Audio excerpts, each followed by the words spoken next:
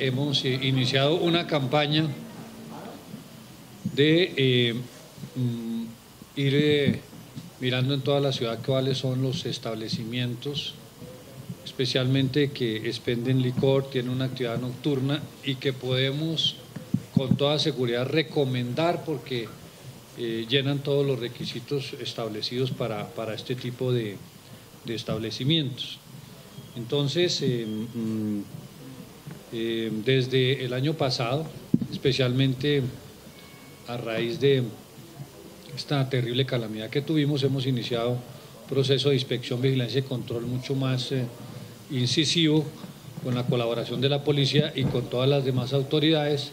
Y por eso el objetivo es conocer los alcances del control policivo mm, de carácter administrativo, eh, especialmente a través de las alcaldías locales, por eso hoy tenemos a nuestro alcalde de la Candelaria, a su equipo de trabajo. Estamos aquí también con el subsecretario, eh, doctor Rengifo, y pues nos eh, interesa especialmente eh, trabajar con estos establecimientos que tienen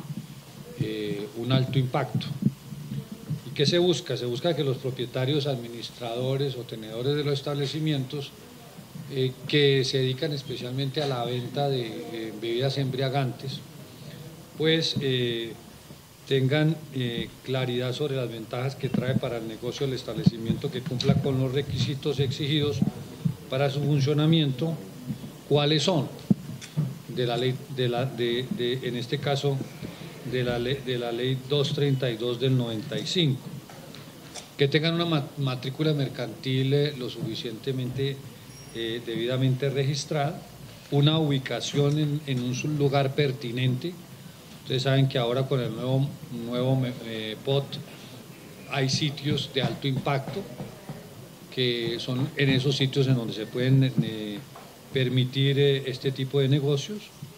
que se cumplan con todas las normas de seguridad, especialmente el tema que tiene que ver con la seguridad industrial, en este caso certificada por el Cuerpo Oficial de Bomberos, certificada también por el FOPAE. Eh, un tema que desafortunadamente hoy se nos está volviendo un problema supremamente grave que es la intensidad auditiva. Por eso, este nuevo, esta nueva, eh, en este nuevo trabajo que estamos realizando con los alcaldes, tiene que ser de un acompañamiento eh, integrado por varias, varias instituciones. Nada saca entonces que el señor alcalde vaya con la policía,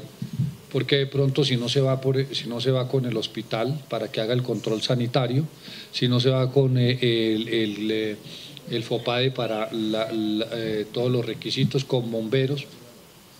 con especialmente la Secretaría de Medio Ambiente para que mida los decibeles sobre los cuales se está actuando. Entonces, lo que la, nueva, la nueva norma que estamos presentando y que comenzó eh, a regir, de acuerdo a la resolución del alcalde de ese entonces, un trabajo conjunto para apoyar a las alcaldías locales. Nada saca el señor alcalde con trabajar solo con la policía,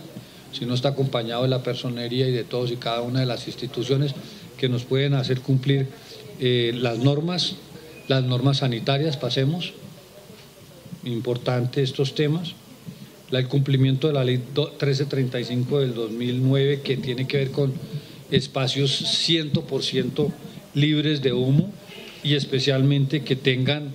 como lo vamos a ver ahora más tarde, extractores de aire, ¿no es cierto? Que verdaderamente pueda uno decir que estos son establecimientos que pueden eh, eh, tener una, alta población eh, en sus recintos, cumplir con el horario establecido y no estar sacando tener que estar llamando a la policía permanentemente para poderlo sacar del establecimiento. Eh, pagar los derechos de autor es otra norma fundamental, por eso nosotros siempre vamos con, con SAICO y con todos, cuando ahora esto, ese trabajo lo estamos haciendo, entonces también vamos con SAICO, vamos con las licoreras para estas inspecciones, entonces llamamos a la licorera de Cundinamarca, llamamos a la licorera de Antioquia, Llamamos entonces a la Asociación de, Licores, que tienen, que tienen la representación de todos los licores importados, para poder entonces eh, que estas, eh, poder saber, en, ocasiones, por ejemplo, se hace una incautación, se, cree que que ese licor es un, licor adulterado. Entonces, teniendo nosotros eh, al mismo tiempo también estas, estas eh, licoreras, nos pueden decir con claridad si ese licor si es un licor que ha salido de la fábrica de néctar, que se ha salido de la fábrica de aguardiente antioqueño o ha salido de, de cristal. Entonces, es importante ese tema. La estrategia que nosotros estamos eh, tratando de hacer es entonces la, eh, operativizar y racionalizar las actuaciones administrativas. Eh, hay necesidad y yo siempre he, querido, y vamos a ver si ahora cuando presentemos el proyecto de, de acuerdo que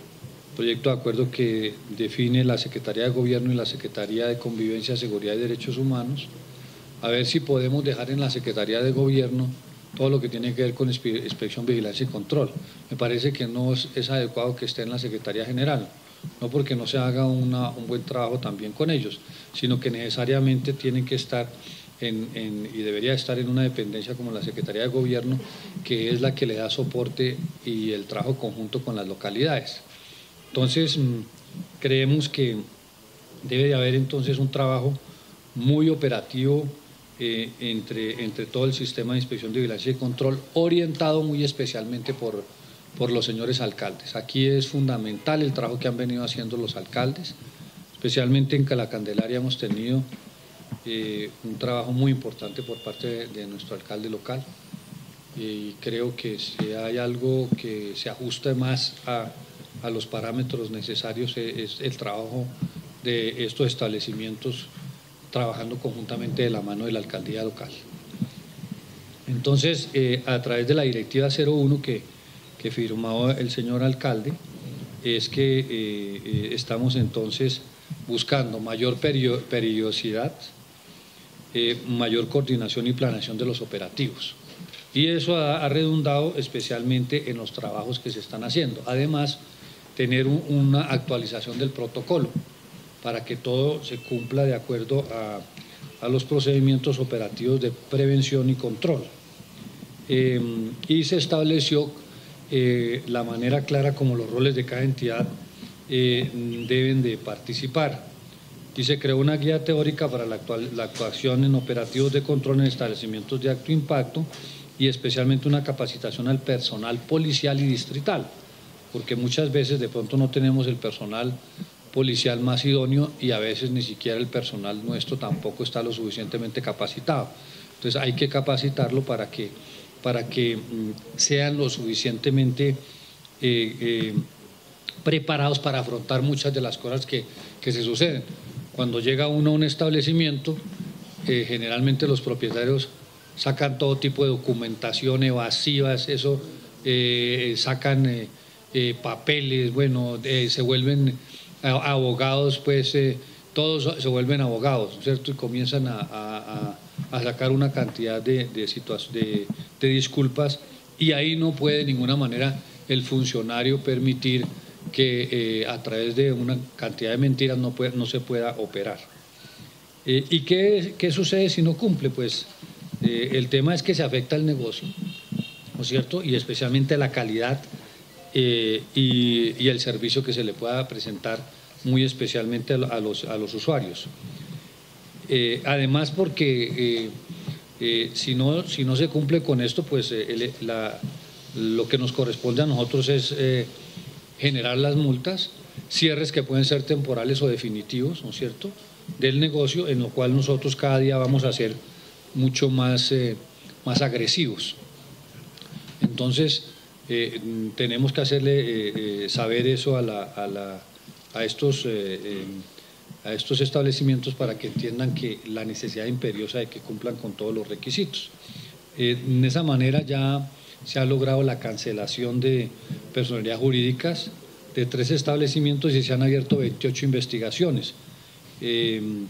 en establecimientos por, especialmente por el uso indebido de la figura del club,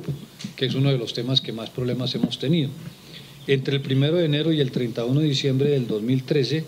se hicieron 550 visitas a los eh, de inspección y vigilancia y se, y se iniciaron 59 actuaciones. Pero lo más importante de todo es, recordar que de septiembre a diciembre, de esas 550, 407 se hicieron entre septiembre y diciembre,